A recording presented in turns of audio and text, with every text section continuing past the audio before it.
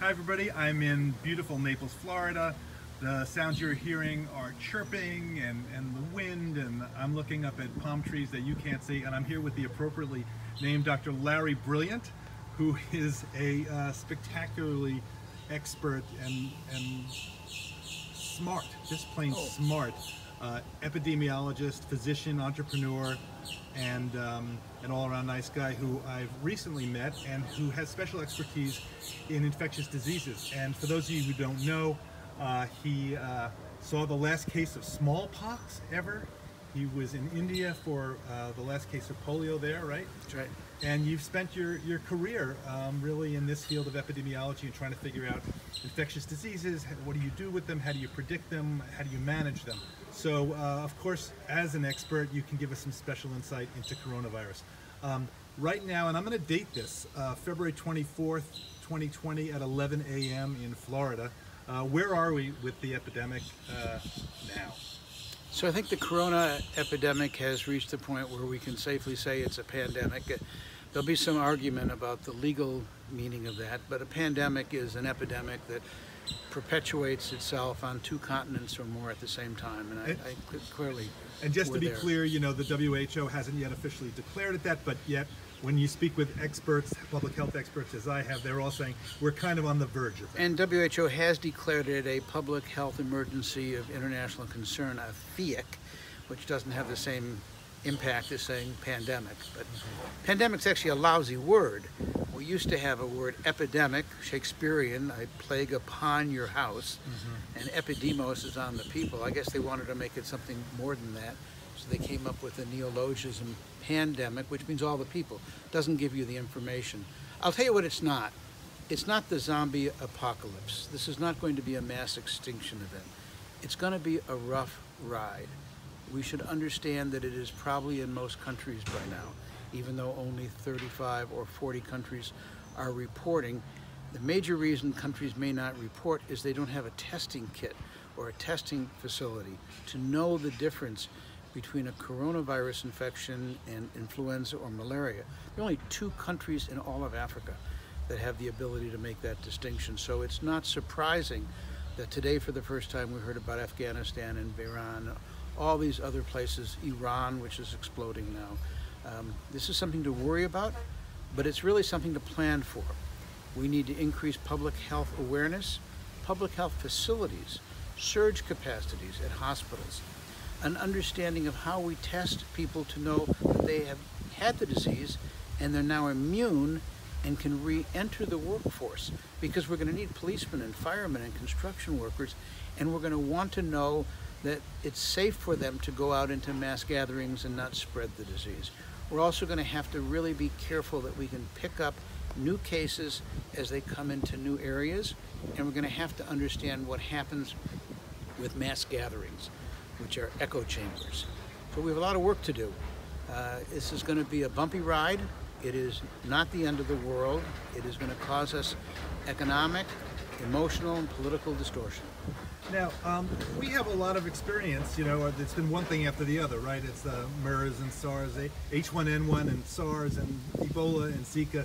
Uh, Do you think we're learning the lessons appropriately? I mean, we've gotten a little better at this, that, and the other thing. Are we learning it appropriately? I'm glad you said, John, one thing after the other. It, it's actually one thing and another as part of a third thing, which are mass spillover events, as heretofore only animal viruses have jumped into humans.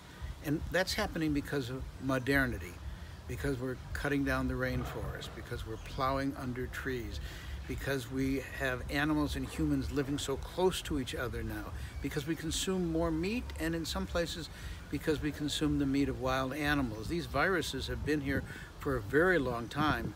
We are now sharing these viruses, more than 50 of them in the last 30 years, and some of them are very dangerous, some of them are mild.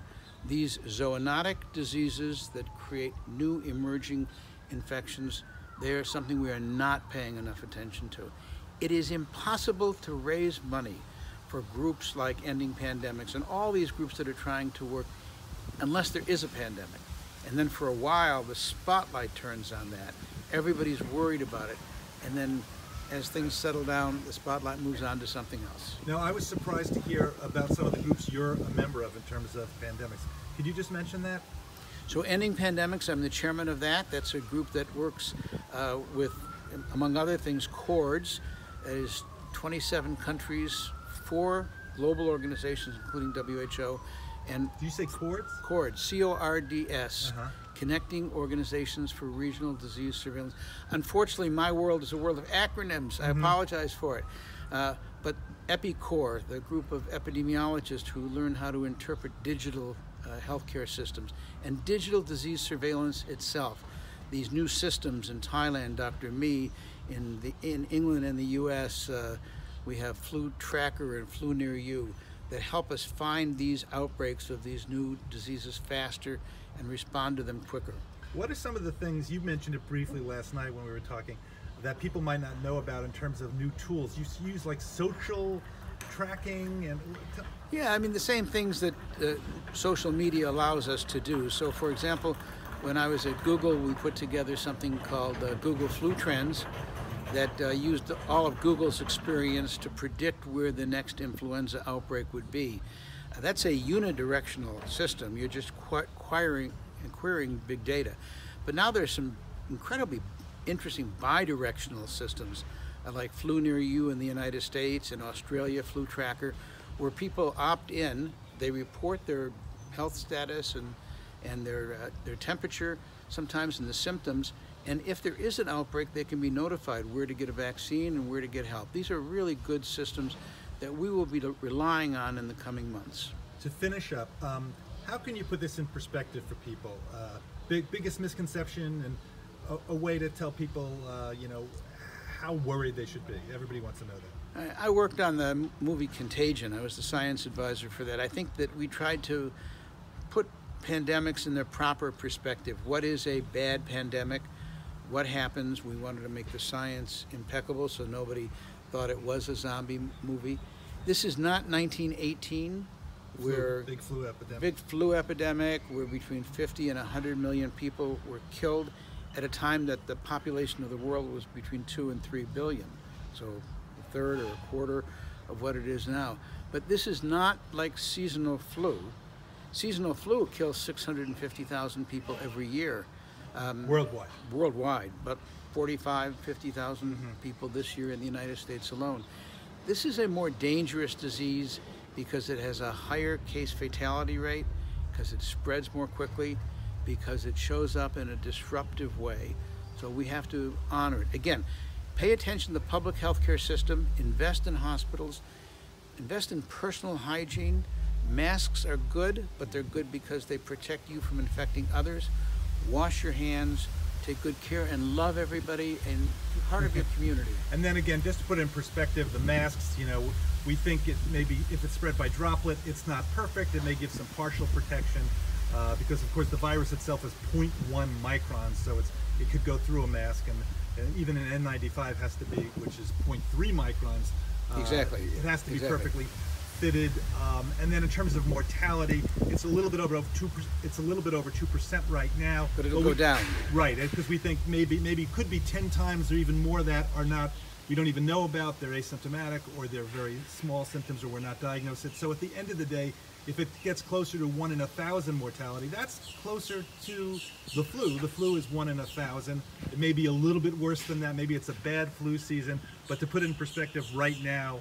Uh, in, in February of 2020, the latest thing I looked at at the CDC, there were 26 million cases of flu in the That's United right. States with That's right. 14,000 deaths. So I just want to add one more flu thing. Yeah. All these things we're talking about, and, and John, you're absolutely right. A mask is imperfect. Uh, washing hands are imperfect. Quarantine is imperfect. But they are speed bumps.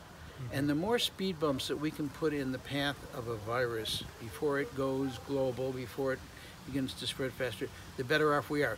If we give a virus that has, as you say, a replication rate of two to 3 mm-hmm. if we give it a six month head start, there could be billions of cases before we find it.